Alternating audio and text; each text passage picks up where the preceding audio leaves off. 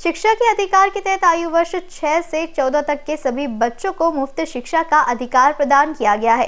लेकिन शिक्षा के साथ साथ देश की भावी पीढ़ी तंदुरुस्त और मज़बूत हो, इसी उद्देश्य के मद्देनजर इन छात्रों के लिए आहार का भी प्रावधान किया गया है। उसी श्रृंखला में राजबाक्षा स्थित नवयुक्त प्राथमिक विद्यालय में छात्रों को सामूहिक आहार प्रदान किया गया।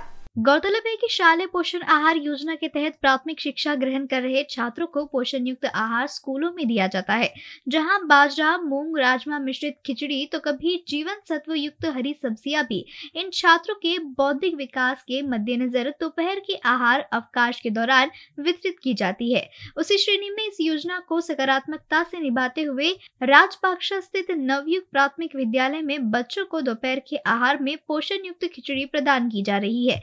जो मुस्कुराते हुए बच्चे चाव से खाते हुए दिखाई पड़े।